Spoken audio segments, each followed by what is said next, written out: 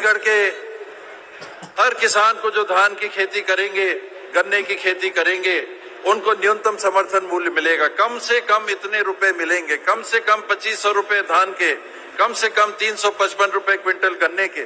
आज उससे ज़्यादा राशि आपको मिल रही है। जो धान आपके खेत में है, ये जब आप बेचने के लिए जाएँगे सोसाइटी में, इस साल आपको दो हज़ार एक सौ तिरासी रुपया न्यूनतम समर्थन मूल्य और उसके ऊपर पंद्रह क्विंटल का हिस्सा अगर आप लेते हैं तो छह सौ रुपए प्रति क्विंटल आपको अधिक राशि मिलेगी। अर्थात अट्ठाईस सौ रुपए में केवल सत्रह रुपया कम इस साल आपको धान का भाव मिलने वाला है। छत्तीसगढ़ के किसान को धान का पैसा मिलने वाला है। इतना ही नहीं, मुख्यमंत्री जी ने एक और घोषणा की है कि पंद्रह क्विंटल के ऊपर पाँच क्विंटल धान और यदि किसान ने उपजाया है तो उनके धान को लिया जाएगा। ये धान कितने में आप बाज़ार में बेचते थे? पंद्रह क्विंटल आपने सोसाइटी में दिया।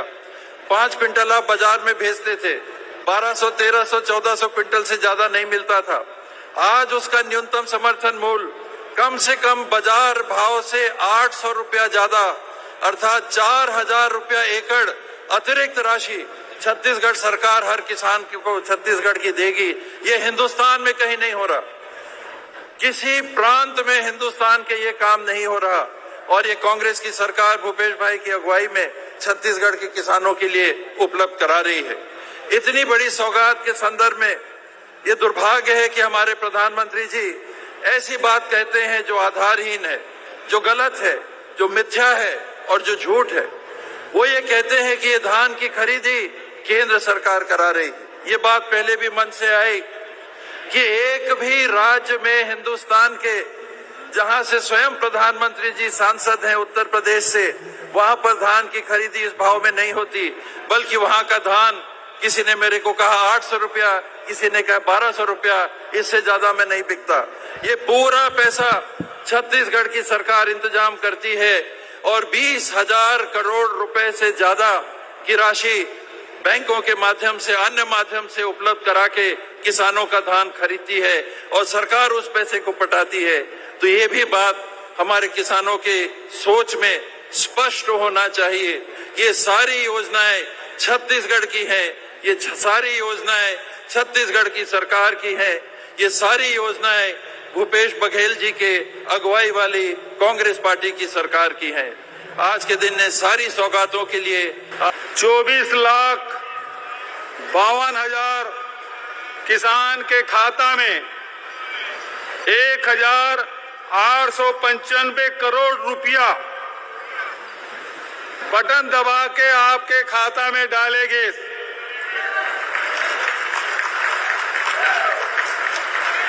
अभी भी मौका है, जब मन ताली नहीं बजावा थे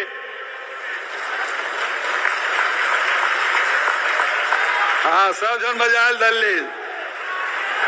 कतका जन के खाता में पैसा पहुँच गए?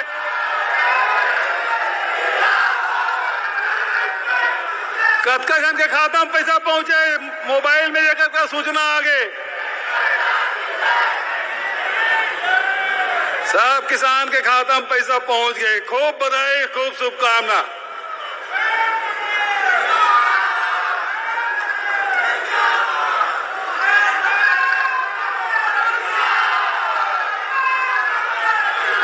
आज ओकरे साथ साथ। नारा नहीं। जतका बेर क्यों तत्का बेर लगाऊ नहीं यार? मैं मौका दूँ पूरा। गन्ना उत्पादक तैतीस हज़ार छह सौ बयालीस किसान के खाता में संतावन करोड़ अट्ठारह लाख रुपया प्याज प्रोत्साहन राशि दिए गए। वो मतलब बहुत बहुत बधाई। और जतेक भी गोधन न्याय योजना से जुड़े हमार भाई बहनी मन है, जन गोबर बेचते दो रुपया किलो में। ओकरो खाता में आज पाँच करोड़ सोलह लाख रुपया गए वो सबो जन ला बहुत बहुत बधाई और शुभकामना। उसी प्रकार से श्रम कल्याण योजना अंतर्गत एक लाख तीस हज़ार हितग्राही मन के खाता में पचपन करोड़ सोलह लाख रुपया का अंतरण किए गए वो मतलब बहुत बहुत बधाई और शुभकामना। आज बलौदा बाज़ार भाटापारा जिला में दो सौ छियासठ करोड़ रुपया के दो विकास कार्य के लोकार्पण और भूमि पूजन किए गए जिला वाला मल्ल खूब बधाई और शुभकामना।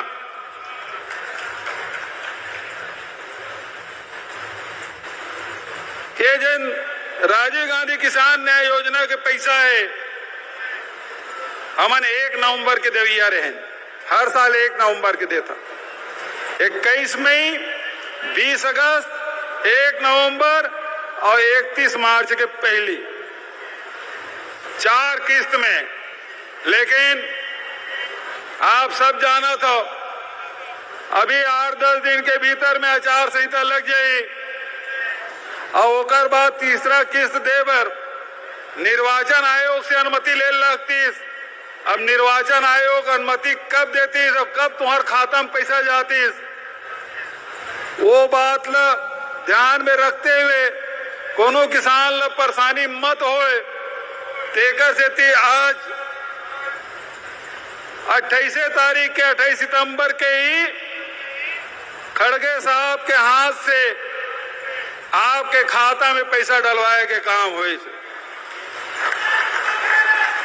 ये जन सरकार है तेन किसान के, मजदूर के, अनुसूचित जाति के, जनजाति के, नौजवान के, महिला मन के, ये सरकार।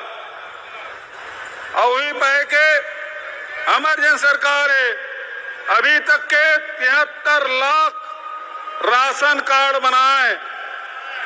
पिछले पाँच साल में 20 लाख अतिरिक्त राशन कार्ड बनाए न मना और तिहत्तर लाख परिवार ल पैंतीस किलो चावल, नमक, ये सब फ्री में दे थन चावल शक्कर दे सत्रह रुपया किलो। और माटी तेल के बारे में हम नहीं की सकन, भाई, बोल भारत सरकार तय करते ये तीन जिनिस ला हम दे तिहत्तर लाख परिवार ला। वही प्रकार से बिजली बिल हाफ़ योजना के लाभ। तिरालीस लाख परिवार उठा थे और चार हज़ार करोड़ से अधिक राशि सब्सिडी के रूप में, चावल में चौदह हज़ार करोड़ से अधिक की राशि सब्सिडी के रूप में। ओकरे साथ साथ लघुवन पद संग्राहक है तेंदुपद तेंदुपत्ता संग्रहण करने वाला है। ओकर मन के खाता में करीब ढाई तीन हज़ार करोड़ रुपया गए अभी तक के जिन गोबर विक्रेता है वर्मी कंपोस्ट बनैया है। ये मतलब तीन साल में लगभग साढ़े पाँच सौ करोड़ रुपया की राशि वो मतलब मिल चुके चाहे वो गोबर बेचे ते, तेंदु पत्ता संग्रहण करे चाहे लघु उपज के संग्रहण करे सबके समर्थन मूल्य घोषित करे ना सब ला खरीदे की व्यवस्था करे। ओकरे साथ साथ बेरोजगारी भत्ता एक लाख उनतीस हज़ार हमारे नौजवान साथी एक सौ सैतालीस करोड़ रुपए अभी तक के पाँच महीना में दे चुके हैं। आज हम फैसला करें कि हमारे जितना भी साठ साल से ऊपर जे मन पंजीयन कराए, इसे मजदूर साथी है वो मतलब डेढ़ हज़ार रुपया हम देवो, ये फैसला करें। गरीब से गरीब आदमी के ध्यान, बुज़ुर्ग से बुज़ुर्ग व्यक्ति के ध्यान। अभी राहुल गांधी जी आ रही हमारे नेता। बिलासपुर में सात लाख आवास। कि पहले के पच्चीस पच्चीस हज़ार रुपया। सबके खाता में डाले काम करें। केंद्र सरकार ने चिट्ठी दें, ये प्रधानमंत्री आवास है तो हिस्सा दे दे, लेकिन वो नहीं देते, और वो मन से मैं घोषणा करें, कि मंत्रिमंडल के साथी मने, विधायक साथी मने केंद्र सरकार आवास के पैसा ला दे, चाहे मत दे। छत्तीसगढ़ कांग्रेस के सरकार, जिन खड़गे साहब के रहनुमाई में काम करे थे, सोनिया जी के आशीर्वाद से काम करे थे, राहुल जी के मार्गदर्शन में काम करे थे, वो सरकार सबो सात लाख परिवार ला आवास के पैसा दे के काम करी। पहली किस्त पहुँच गए खड़गे लोकसभा, राज्यसभा में ये लगातार मांग कर रहे थे कि जाति जनगणना होना चाहिए, आर्थिक सर्वेक्षण होना चाहिए। 2011 के बाद से नहीं हुए। 2011 में जिन सर्वे सूची नाम है, तीन इब्राहिम लाभ मिला थे। लेकिन जिन 2011 के बाद जिन सूची में शामिल हुए, जिन पात्र व्यक्ति है ओकर कोई सर्वे नहीं हुए। वो मतलब कोई लाभ नहीं मिला थे। भेंट मुला